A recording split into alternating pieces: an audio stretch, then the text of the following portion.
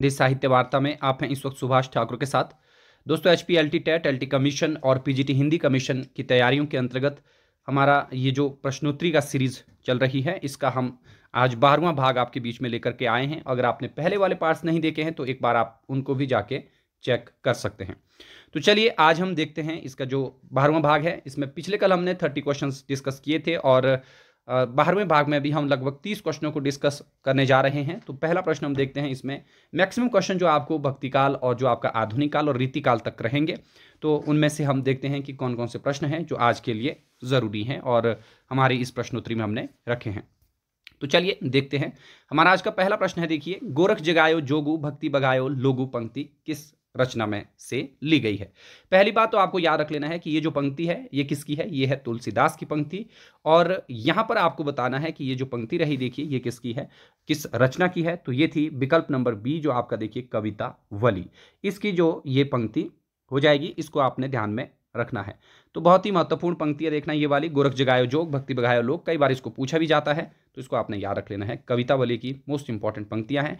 और यहाँ पर आपको याद ये रखना है कि जो आपका तुलसीदास रहे हैं। उनकी जो अन्य रचनाएँ हैं, चाहे वो रामचरित मानस है, चाहे फिर आपकी कुछ विनय पत्रिका है, या फिर दोहाबली है, इनकी भी रचनाएँ या इनकी जो पंक्तियाँ हैं, वो आपको याद रखने के लिए पूछी जा सकती हैं। मतलब उनको आपको याद रखना है। ठीक है? चलिए अगला प्रश्न देखते हैं, क्या है? हमारा आज का अगला प्रश्न है, देखिए। कृष्ण भक्त कवियों का आधार ग्रंथ भागवत महापुराण है। इसमें कुल कितने स्कंद हैं? तो भागवत महापुराण से यहाँ पर पूछा गया है, देखिए तो इसमें जो स्कंदों की संख्या है वो बारह है और दशम स्कंद के आधार पर ही कृष्ण काव्य जो है वो ज़्यादा रचा गया है। इस बात को भी आप याद रखिएगा। चलिए, अगला प्रश्न देखते हैं। हमारा आज का अगला प्रश्न है, सूरदास को ब्रजभाषा का प्रथम कवि किसने माना है? तो सूरदास सूरदास को जो ब्रजभाषा का पहला कवि माना है, ये माना है हजारी प्रसाद द्विवेदी ने और हजारी प्रसाद द्विवेदी ने क्या किया? देखिए, दूसरी चीज़ इन्होंने जो की थी, इन्होंने जो आपका भ्रमर गीत सार है, उसको पहला काव्य माना है देखना ब्रजभाषा का, ये भी आपको याद रख लेना है। तो हजारी प्रसाद द्विवेदी के अनुसार क्या है ये? ब्रजभाषा के प्रथम कवि हैं। चलिए अगला प्रश्न देखते हैं। नेक्स्ट क्वेश्चन है, देखिए अश्चाप की स्थापना किस वर्ष हुई थी? तो ये आसान सा क्वेश्चन है, पंद्रह में हुई थी, किसके द्वारा हुई थी? गोस्वामी विठल नाथ जी ने की थी ये पंद्रह में। और अष्टछाप के कवियों को अष्ट सखा के नाम से भी जाना जाता है। और ये श्री पर्वत में रहकर क्या करते थे? अपना श्री पर्वत नहीं श्री पर्वत से संबंध सिद्धों का था। लेकिन श्रीनाथ जी का जो मंदिर रहा उसमें उससे इनका क्या रहा? संबंध रहा है। ये चीज़ आपको यहाँ पर याद रख लेनी है। अश्चाप की स्थापना। बहुत ही महत्वपूर्ण प्रश्न है, देखना। इसको भी पूछा जाता है। चलिए नेक्स्ट क्वेश्चन देखते हैं। आज का जो प्रश्न है, आज बहुत आसान आसान प्रश्न हमने इसमें रखे हैं। दार्शनिक दृष्टि से श्रेष्ठ भ्रमर गीत कौन सा है? तो भ्रमर यहाँ पर थोड़ा सा गलत हो गया इसको आप ठीक कर लीजिएगा। भ्रमर गीत, है ना? तो दार्शनिक दृष्टि से बोला गया है। यहाँ पर आपको देखना था। भ्रमर गीत जो रहा, ये जो भ्रमर गीत है, देखना, ये सूरदास का है। ये नहीं होगा क्योंकि दार्शनिक इतना ज़्यादा ये नहीं रहा। दार्शनिक दृष्टि जो सबसे ज़्यादा हमें दिखती है, वो नंददास में दिखती है और नंददास की जो रचना रही, देखिए, वो थी भंवर गीत। इसको आप याद रखिएगा, ये रचना बहुत बार पूछी भी जाती है, देखना, नंददास की भंवर गीत। और ये भ्रमर गीत परंपरा की शुरुआत किससे हुई, ये आप मुझे कमेंट सेक्शन में जाकर बता सकते हैं। और उद्धव शतक भी भ्रमर गीत परंपरा की रचना रही है और जो आपका गीत गोविंद है, इसमें ये जो है, भ्रमर गीत परंपरा की रचना ही नहीं थी तो इसलिए ये तो बिल्कुल भी नहीं होना था इसमें। विकल्प नंबर चार बिल्कुल भी नहीं होगा, जबकि उद्धव शतक, जो जगन्नाथ दास रत्नाकर की रचना है, देखना, ये भ्रमर गीत परंपरा की रचना है। अब बात ये उठता है कि जो आपका भ्रमर गीत परंपरा है, इसमें होता क्या है? इसमें गोपी और उद्धव का जो सगुण और निर्गुण को लेकर के जो संवाद रहता है, उस प्रकार की जो रचनाएँ हैं, वो क्या कहलाती है हमारी? भ्रमरगीत परंपरा की कहलाती हैं। उद्धव शतक भी भ्रमरगीत परंपरा की है, जगन्नाथ दास रत्नाकर की है एंड भंवर गीत जो है, नंददास की है। भ्रमर गीत जो थी, ये सूरदास की रचना है, ये हम सब लोग जानते हैं। और एक रचना और है, देखना भ्रमर दूत तो ये सत्यनारायण कविरतन ने लिखी थी, जो द्विवेदी युगीन ब्रजभाषा के दूसरे कवि हैं, उनको भी याद रख सकते हैं आप लोग, वो ब्रज कोकिल के नाम से जाने जाते हैं, ठीक है? तो यहाँ पर आपके लिए जो सवाल रखा है मैंने कि भ्रमर गीत परंपरा की शुरुआत जो है, वो किस से मानी जाती है, ये प्रश्न आपके लिए है। चलिए अगला प्रश्न देखते हैं। हमारा आज का अगला प्रश्न है। राग सोरठा और राग गोविंद जो है ये किसकी रचनाएँ हैं? तो राग सोरठा और राग गोविंद जो रचनाएँ हैं देखिए ये जो रचनाएँ हैं ये हैं मीराबाई की। तो ध्यान रखने लायक है। इसके अलावा इसने नरसिंह जी का मायरा गी, गीत गोविंद की टीका इत्यादि इत्यादि भी लिखी है। उनको भी आपने याद रख लेना है। और एक प्रश्न फिर से आपके लिए है कि आचार्य रामचंद्र शुक्ल ने मीराबाई के ग्रंथों की संख्या कितनी मानी है? ये प्रश्न महत्वपूर्ण है, देखना, इसको पूछा जाता है। तो ये आपके लिए है, आप इसको एक बार ज़रूर देखिएगा कि कौन सी रचना है। मतलब कितनी रचना है मानी शुक्ल ने। निम्नलिखित में से संप्रदाय निरपेक्ष कवि कौन सा है? तो यहाँ पर देखिए, मीरा और रसखान, ये दोनों ही क्या हैं? संप्रदाय निरपेक्ष रहे हैं। ठीक है? इन दोनों को ही हम क्या कहेंगे? आपके संप्रदाय निरपेक्ष है। कुछ लोग इसको इस प्रश्न को इस तरीके से भी ले, ले सकते हैं कि मीरा जो थी वो थी कवियत्री। लेकिन प्रश्न के आधार पर अगर यहाँ पर दोनों दिए हैं तो ये कवियों की श्रेणी में ही आ जाएँगे इसलिए ये दोनों ही क्या हो जाएँगे संप्रदाय निरपेक्ष जो है हो जाएँगे। इन्होंने स्वयं को किसी भी संप्रदाय में दीक्षित नहीं किया था। और आप देखते हैं कि बहुत सारे कृष्ण कवि जो हैं वो क्या हैं किसी न किसी संप्रदाय में ज़रूर रहे हैं। चलिए नेक्स्ट क्वेश्चन देखते हैं। अगला प्रश्न है देखिए काहे को रोकत मार्ग सूद हो? किस कृष्ण भक्त की पंक्तियाँ ये है। तो ये जो पंक्तियाँ हैं, देखिए, भ्रमर गीत सार की पंक्तियाँ ही हैं, सूरदास की ये पंक्तियाँ हैं। तो पंक्तियाँ तो आपको कहीं से भी पूछी जा सकती हैं, उनको आपने थोड़ा सा याद रख लेना है। और यहाँ पर जो मुख्य मुख्य नाम है, देखना, ये गदाधर भट्ट, इसकी भी एक पंक्ति आती है, बड़ी इंपॉर्टेंट पंक्तियाँ देखना, सखी हों श्याम रंग रंगी मोस्ट इंपॉर्टेंट पंक्ति है, उसको भी आप याद रखिएगा। परमानंद दास और रसखान इनकी पंक्तियाँ तो खैर ज़्यादा हैं, उनको भी आप साथ साथ में याद रख सकते हैं। अगला प्रश्न है, कौन सा कवि रीति मुक्त है? तो रीति मुक्त जो कवि रहे, देखिए, इनमें से वो थे आपके द्विजदेव। और द्विजदेव आखिरी कवि माने जाते हैं, देखना रीति मुक्त कवियों में से। और इनकी दो रचनाएँ हैं, श्रृंगार, लतिका, इत्यादि इत्यादि। ठीक है? और एक और थी इनकी। अभी मुझे उसका ध्यान नहीं आ रहा बाकी अगर आपको पता है तो आप कमेंट सेक्शन में जाकर बता सकते हैं कि इनकी कौन सी रचनाएँ रही हैं। चलिए नेक्स्ट हम देखते हैं, इसके बाद जो अगला प्रश्न है, वो क्या है? नेक्स्ट क्वेश्चन हमारा आज का है, देखिए, देव किस संप्रदाय में दीक्षित थे? तो जो देव रहे, देखिए, ये रहे आपके ही तरिवंश के जो अनन्य संप्रदाय रहा, इसमें ये दीक्षित रहे हैं। निम्बारक संप्रदाय में जो केशवदास रहे, देखना, और वल्लभ संप्रदाय में तो वल्लभाचार्य और जो आपके अच्छापी कवि हैं, उनका ज़िक्र आता है। हरिदासी, जो हरिदास निरंजनी सॉरी हरिदासी में जो आपका स्वामी हरिदास और जो आपका एक नाम और आता है, इसमें देखना बिहारी दास वगैरह, वो इस संप्रदाय में रहे हैं, हरिदासी संप्रदाय में। और इनके प्रवर्तकों का भी आपको पता होना चाहिए कि इन संप्रदायों के प्रवर्तक कौन रहे हैं, कृष्ण काव्य में ये प्रश्न भी इंपॉर्टेंट है। चलिए नेक्स्ट क्वेश्चन है, देखिए, रसभूषण किसकी रचना है? तो रसभूषण के जो रचयिता हैं, वो कौन है? ये यहाँ पर देखिए, इसका जो सही आंसर हो जाएगा, ये होगा याकूब खां। तो याकूब खां की रसभूषण इंपॉर्टेंट रचना है। सोमनाथ की जो रसपीयूष निधि है तोष निधि की बहुत सारी रचनाएँ हैं नक्षिक शीर्षक से वगैरह वगैरह जो भी इन्होंने लिखी है, देखना, उसको देखिए। प्रताप शाही की व्यंग्यार्थ कौमुदी, जो सबसे इंपॉर्टेंट रचना इसकी, मानी जाती है, उसको भी आप याद रखिएगा।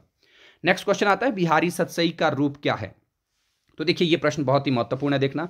बिहारी सत्सई, ये एक मुक्तक काव्य है, और इस संदर्भ में आचार्य रामचंद्र शुक्ल ने एक बहुत ही महत्वपूर्ण पंक्ति कही है कि यदि प्रबंध काव्य एक विशाल या विस्तृत वनस्थली है तो जो आपका मुक्तक है, वो एक चुना हुआ गुलदस्ता है। वो उन्होंने इसके लिए ही कहा था।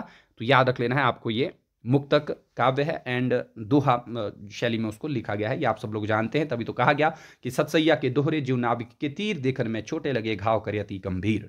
ठीक है? ये बिहारी सत्सई के दोहों के लिए ही कहा गया था, इसको भी आप याद रखिएगा। चलिए नेक्स्ट क्वेश्चन देखते हैं। अगला प्रश्न है, भावों का बहुत उत्कृष्ट और उदात स्वरूप बिहारी में नहीं मिलता। यह कथन किसका है? तो ये जो कथन रहा, देखिए, ये आचार्य रामचंद्र शुक्ल ने इनके बारे में कहा था, जो आपका बिहारी सत्सई रहा। इसके बारे में इन्होंने ये बात कही थी हिंदी साहित्य के इतिहास ग्रंथ में। ठीक है? तो शुक्ल के जो कथन है, वो बड़े महत्वपूर्ण रहते हैं देखना, किसी भी राइटर को लेकर के, जो उन्होंने बातें कही थी। नेक्स्ट क्वेश्चन आता है विरह वारिश और इश्क नामा किसकी रचनाएँ हैं? तो इन रचनाओं में हम अक्सर थोड़ा सा हम कंफ्यूज हो जाते हैं कि ये किसकी रचनाएँ हैं। तो देखिए, ये जो दो रचनाएँ हैं, विरह बारिश और इश्कनामा, ये रचनाएँ हैं आपका जो बोदा हैं, उनकी ये रचनाएँ रही हैं। जबकि अगर यहाँ पर घनानंद होता तो घनानंद की क्या हो जानी थी? विरह लीला और इश्क लता इनकी है ये दो रचनाएँ, ठीक है? इसको आपने याद रखना है, देखना ये कंफ्यूज करने वाला प्रश्न है। विरह लीला और इश्क लता अगर होता तो गणानंद है, लेकिन अगर यहाँ पर विरह वारिश है तो समझ लेना कि ये बोधा की रचना है, ठीक है? इसको याद रखना है आपको ऐसे करके। नेक्स्ट क्वेश्चन आता है आपका यहाँ पर, देखिए, पद्माभरण किसकी रचना है? तो ये है पद्माकर की रचना और ये इनका अलंकार निरूपक ग्रंथ रहा है, पद्माकर की, ठीक है? देव जो है, ये ज़्यादातर जो देखना अभिधा शब्द शक्ति को महत्व देते हैं, तभी तो इन्होंने कहा है अभिधा उत्तम काव्य मध्य लक्षणा लीन, ये वाली इनकी पंक्ति रही, बहुत महत्वपूर्ण पंक्ति है देखना। केशव जो है, ये भी अलंकारवादी आचार्य थे और सुखदेव मिश्र जो रहे, ये ज़्यादातर आपके छंद निरूपक रचनाकार माने जाते हैं और आचार्य रामचंद्र शुक्ल ने इनकी प्रशंसा भी की है। और इन्होंने कहा कि रीतिकाल में छंद निरूपण जो सुखदेव मिश्र के समान अन्य किसी कवि ने नहीं किया है मतलब छंदों का इसने विशद विश्लेषण किया है। ठीक है? सुखदेव मिश्र और इनकी एक प्रसिद्ध रचना है देखना, वृत्त विचार। ये इनके छंद निरूपक ग्रंथ बहुत ही महत्वपूर्ण ग्रंथ है, उसको आप याद रखिएगा। चलिए नेक्स्ट क्वेश्चन देखते हैं। आज का अगला प्रश्न है, मेरी भवभादा हरो राधा नागरी सोई। ये पंक्ति किसकी है? तो देखिए, ये वाली जो पंक्ति है, ये बिहारी सतसई की पंक्तियाँ रहेंगी। ठीक है? नेक्स्ट आता है, तुम कौन सी पार्टी पढ़े हो? लल्ला, किसकी पंक्ति है? तो पंक्तियों से रिलेटेड आज प्रश्न थोड़े से ज़्यादा रखे गए हैं, इनको आप एक बार ज़रूर देखिए। कहने का मतलब ये है कि जो आपको यहाँ पर विकल्प में भी चीज़ें दिख रही हैं, इनको भी आप थोड़ा सा एक बार ज़रूर देखिएगा कि कौन कौन सी पंक्तियाँ जो हैं, ये किसकी हैं? ठीक है? तो ये वाली जो पंक्ति है, देखिए, कौन सा प्रश्न था हमारा? हाँ फोर्टी क्वेश्चन थोड़ा सा यहाँ पर गड़बड़ हो गई कुछ, एक मिनट। देखिए, यहाँ पर तुम कौन सी पार्टी पढ़े हो लल्ला? किसकी पंक्ति है? ये जो पंक्ति है, देखिए, ये है आपका इनमें से घनानंद। विकल्प नंबर ए इसका क्या हो जाएगा? बिल्कुल सही आंसर हो जाएगा। ठीक है? इंपॉर्टेंट है देखना ये वाला प्रश्न भी। घनानंद से रिलेटेड मतलब इनकी पंक्तियाँ भी बहुत ज़रूरी हैं रीतिकालीन कवियों में। एक इंपॉर्टेंट नाम है ये भी। नेक्स्ट क्वेश्चन आता है यहाँ पर, कौन सा कृष्ण कवि नहीं है? ऐसा प्रश्न आपको हर एक यूनिट से आ सकता है। क्यों? क्योंकि आपने देखा होगा कभी पूछ लेते हैं कि कौन सा राम कवि है, कौन सा कृष्ण कवि नहीं है, कौन सा संत काव्यधारा का कवि नहीं है है ना? कौन सा सूफी प्रेमाख्यानक का कवि नहीं है, कौन सा तार सप्तक का कवि नहीं है या भारतेंदु मंडल का कवि नहीं है, ऐसे प्रश्न आपको हर जगह से पूछे जाते हैं तो ये आपको पहचान जो है वो कवियों की करना बहुत ज़रूरी है। लेकिन यहाँ पर आपको बताना है, देखिए कि कृष्ण कवि कौन सा नहीं था तो हरिदास निरंजनी जो है, ये नहीं थे, ये आपके संत काव्यधारा के कवि हैं, ठीक है? तो ये आपको याद रख लेना है। कृष्णदास जो थे, ये आप सब लोग जानते हैं, छापी कवि रहे हैं। ध्रुवदास जो आपका राधा वल्लभ संप्रदाय में थे, बिहारी दास जो हरिदासी संप्रदाय में रहे हैं। तो यहाँ पर हरिदास निरंजनी नहीं होना था। अगर स्वामी हरिदास होता तो वो कृष्ण कवि हो जाने थे। नेक्स्ट क्वेश्चन आते देखिए, कौन सा आधुनिक काल को नाम जो है वो नहीं दिया गया है? तो यहाँ पर जो नाम आधुनिक काल को नहीं दिया गया है, देखिए, यह है सामयिक काल। गद्य काल शुक्ल ने दिया था, वर्तमान काल मिश्र बंधुओं ने दिया, आधुनिक काल इसको रामकुमार वर्मा ने कहा था और गणपति चंद्रगुप्त ने भी इसको आधुनिक काल नाम की ही संज्ञा दी थी। इवन आचार्य रामचंद्र शुक्ल ने भी आधुनिक काल ही कहा, लेकिन उन्होंने इसको गद्य काल फिर प्रवृत्ति के आधार पर भी कहा था कि ये आधुनिक काल में जो प्रवृत्तिगत जो नाम रहा, वो क्या होगा इसका? वो होगा गद्य काल क्योंकि इसमें गद्य की ज़्यादा रचनाएँ रही हैं। ठीक है? नेक्स्ट क्वेश्चन आता है, देखिए, आज का देश दशा किसकी रचना है? तो दो रचना है देखना, भारत बारामासा और देश दशा ये रचनाएँ जो हैं, ये हैं आपके, जो राधा कृष्ण दास रहे हैं, इनकी ये रचनाएँ हो जाएँगी। जबकि राधा चरण गोस्वामी की है नव भक्तमाल देखना, इसको आप याद रख लीजिए, प्रताप नारायण मिश्र ने भी बहुत सारी रचनाएँ रची हैं, लेकिन वो उतनी ज़्यादा ज़रूरी आपके काम की अभी फ़िलहाल नहीं है। तो एटलीस्ट जो राधा चरण गोस्वामी राधा कृष्ण दास, जो भारतेंदु मंडल की ये कवि हैं, इनको आप थोड़ा सा देखिए। प्रेमघन की रचनाएँ भी इंपॉर्टेंट है, उसको रिलेटेड हमने आगे क्वेश्चन रखे हैं तो वहाँ से आपको ये दिख जाएँगे। यहाँ पर देखिए, जीर्ण जनपद, मयंक, महिमा, ललित, लहरी, ये किसकी रचनाएँ हैं? तो ये जो रचना है, ये है बद्री नारायण चौधरी, प्रेमघन की। प्रेमघन उर्दू में किस नाम से लिखते थे? ये आप मुझे कमेंट सेक्शन में जाकर बता सकते हैं एंड बहुत ही महत्वपूर्ण है देखना, ये वाला प्रश्न भी बद्री नारायण चौधरी, प्रेमघन से रिलेटेड ठीक है? तो ये भारतेंदु मंडल के कवि हैं, देखना सारे के सारे, इनको भी आप याद रखिएगा। अंबिका दत्त व्यास राधा कृष्ण दास, नवनीत चतुर्वेदी, किस युग के कवि हैं। तो देखिए, ये जो कवि हैं, ये भी आपके क्या हैं? भारतेंदु युगीन कवि ही रहे हैं। अंबिका दत्त व्यास हो गया राधा कृष्ण दास, नवनीत चतुर्वेदी। जो नवनीत चतुर्वेदी हैं, ये जगन्नाथ दास रत्नाकर के गुरु माने जाते हैं। इनको भी आप याद रखिए, ये भी इंपॉर्टेंट नाम है। नेक्स्ट आता है आपके लिए यहाँ पर, मेरे तो साधन एक ही हैं, जगनंदा जग नंद लला वृष भानु दुलारी किसकी पंक्ति है? तो ये वाली जो पंक्ति रहेगी, देखिए, ये इनमें से कोई नहीं, इसका जो सही आंसर होगा, ये होगा भारतेंदु हरिश्चंद्र। तो बहुत सारे लोग यहाँ पर गलती कर देते हैं, जहाँ पर ये वृक्ष भानु दुलारी लिखा होता है तो हम समझ लेते हैं कि राधा के लिए कहा गया है। तो ये क्या हो जाएगा? आपका सूरदास हो जाएगा। लेकिन ये सूरदास की पंक्तियाँ नहीं है। ये किसकी पंक्तियाँ हैं? ये भारतेंदु, हरिश्चंद्र की भारतेंदु युगीन पंक्तियाँ हैं। इनको आपने याद रखना है।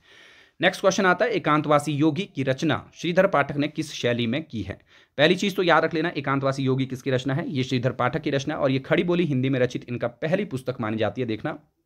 और ये किस रचना का अनुवाद है, ये आप मुझे कमेंट सेक्शन में जाकर बता सकते हैं, लेकिन यहाँ पर शैली पूछी गई है तो शैली इसमें लावनी शैली है, इसको भी आप याद रखिएगा। बाकी आपने बताना है कि मूल रचना क्या थी, जिसका इन्होंने अनुवाद किया है। चलिए नेक्स्ट क्वेश्चन देखते हैं। अगला प्रश्न है, किस रचनाकार को पद्य रचना की एक प्रणाली के रूप में जाना जाता है? देखिए पद्य रचना की एक प्रणाली के रूप में अगर किसी को जाना जाता है तो ये है महावीर प्रसाद द्विवेदी। और इनको कहा किसने था? ये कहा था आचार्य रामचंद्र शुक्ल ने। बहुत ही महत्वपूर्ण है देखना ये नाम कि एक पूरा का पूरा सिस्टम है, वही पूरी की पूरी एक प्रणाली है महावीर प्रसाद द्विवेदी। बहुत ही महत्वपूर्ण नाम है देखना ये वाला भी। अगला प्रश्न है, तदीय समाज से किसका संबंध रहा है? तो हम सब लोग जानते हैं कि भारतेंदु हरिश्चंद्र ने तीन समाज या कविता वर्धनी सभा, तदीय समाज और एक रसिक समाज। रसिक नहीं था तदीय समाज हो गया और आपका कविता वर्धनी सभा, एक और था हाँ पेनी रीडिंग क्लब।